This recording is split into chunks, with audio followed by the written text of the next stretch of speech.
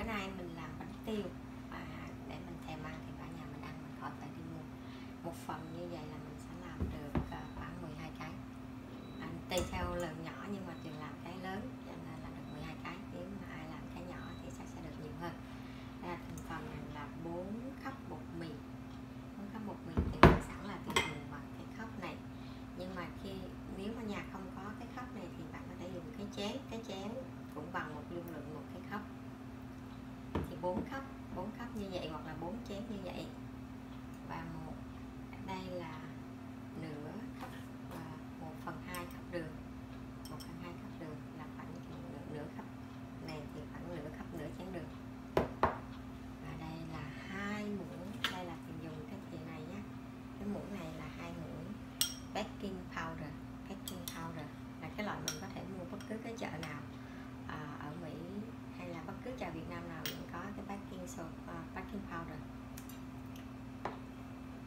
Và đây là hai thì hai muỗng teaspoon này gọi là instant yeast mình cũng có thể mua bất cứ chợ nào để mình bỏ nó vô hòa tan đây là đây là thành phần còn nước mình phải dùng nước ấm nước ấm không quá nóng không quá nguội vậy nên là tiền lượng là khoảng 250 ml cho một cốc thì đây là khoảng 300 ml đây là 300 ml cho lần dung lượng của cái này cái ly này thì là khoảng là một cốc một một cốc một uh, thêm 50 dưới 1 phần tư nước nữa thì tùy nhưng khi mà mình mình ủ mình ủ bột mình sẽ biết cái lượng bột đây bây giờ bắt đầu phần cắt là bột nhé khi mình chọn bột. Ở đây là mình, trước khi mình pha vô bột thì đây là cái instant yeast hoặc là mình có thể gọi là bột nổi khô. Thì theo nhưng mà thường thường ở ngoài chợ là nó vẫn gọi là tiếng Anh instant yeast cho nên ít có khi nào nó để là bột nổi khô. Thì đây là một muỗng một muỗng nước ấm. Rồi xong mình thêm một muỗng nữa là hai muỗng. Xong, đây là đường. Mình có thể thêm một tí đường cát trắng mình hòa tan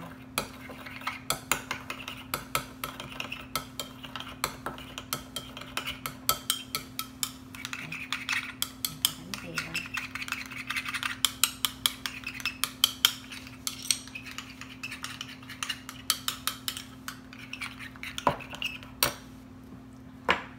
muối mình không có thể nào bỏ chung một lượt với lại bột à, bột nổi à, khô. Cho nên mình phải dùng một chút muối mình bỏ vô trong bột Đấy.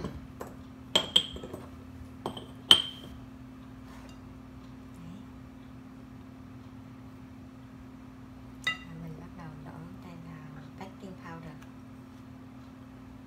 chọn đều tất cả bỏ để vào và chọn cái thiệt đều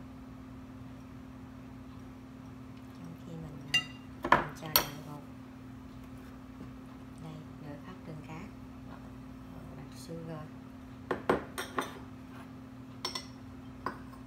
tất cả trộn đều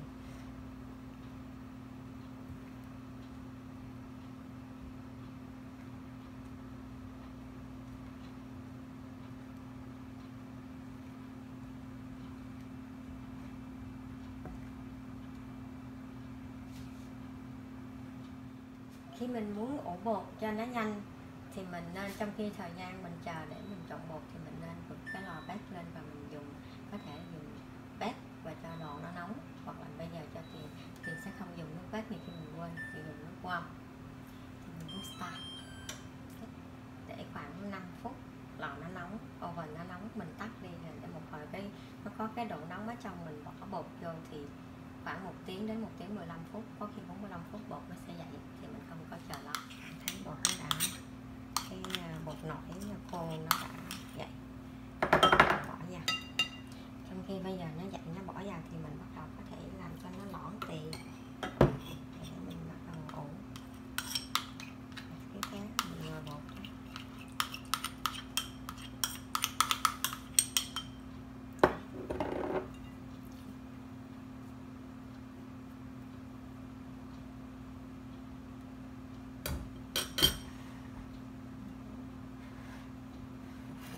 cái cái là cái đọng nước từ từ đây là ly nước ấm mình đã sẵn. Có thể dùng sữa uh, nửa phần sữa nửa phần nước. Nếu các bạn thích cái bánh tiêu ở bên trong nó trắng hơn. Tùy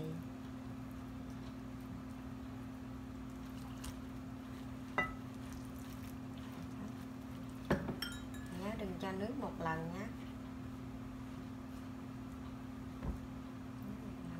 mình không có thể à, cho được lượng nước. Nếu mà nước nhiệt ít thì mình cho thêm được.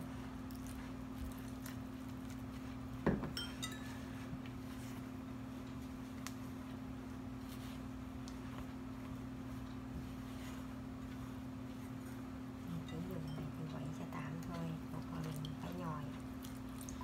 Nhồi nhiều thì cái ờ, cái bột nó mới mau nổi đây tiền chỉ làm cho nó tạm thời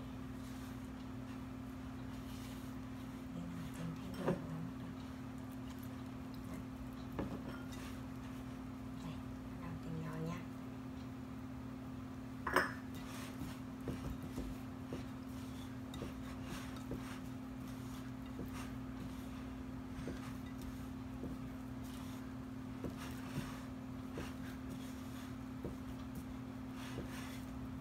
này nó thấy cái bột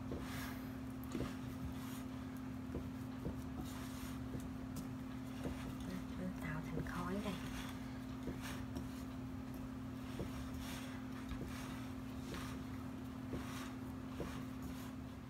sau khi mình nhồi bột thì với cái lượng nước đó mình sẽ thấy nó như vậy thì mình phải dùng, lúc nào cũng dùng thêm bột áo. Nhưng mà tùy nha, không cần liều lượng.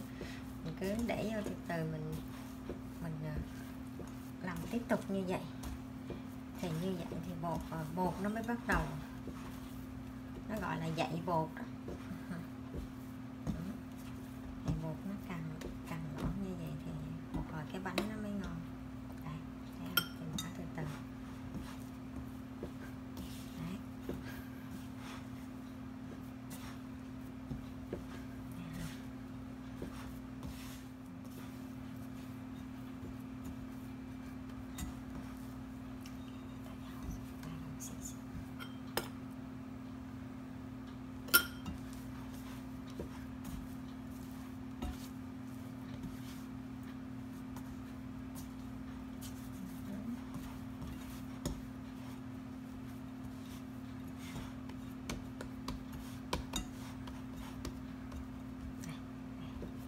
Hả?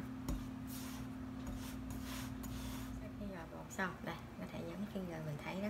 Và bột mình phải đập ủ lại. Lấy cái giấy microwave. Bọc lại. Đấy. Đây là cái lò hồi nãy mình đã bật nút warm. Khoảng 5 phút thì đã lia, thì đã tắt. Bây giờ mình, đấy, mình sẽ giữ, thấy được cái độ nóng, độ ẩm ở trong. Mình để đây.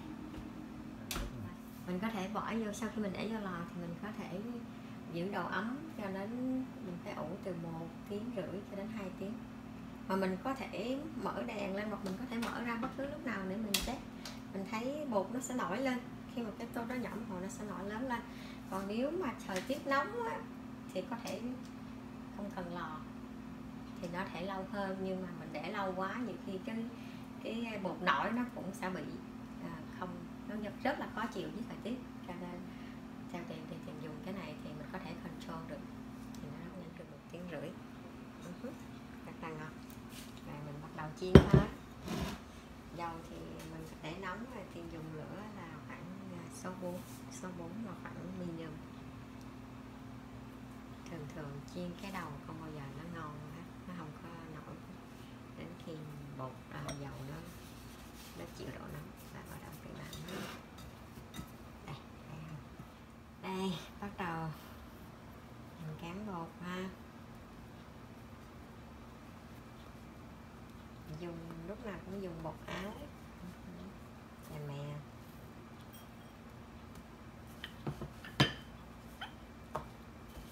Chia lượng bột thì cái bánh thì tùy theo nhỏ lớn mình thích nha.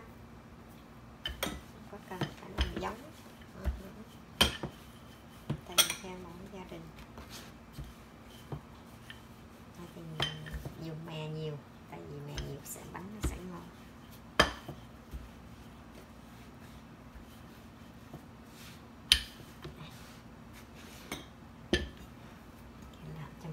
hết cái đầu tiên thì không làm lớn. Thử dọc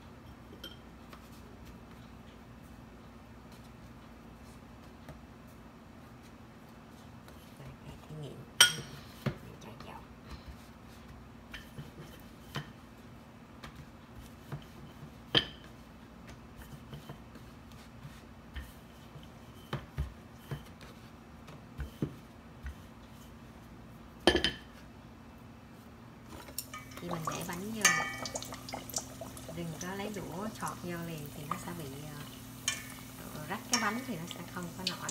Mình để nó tự cái bánh nó nổi là bắt đầu mình đánh. Càng đánh cho nó bánh như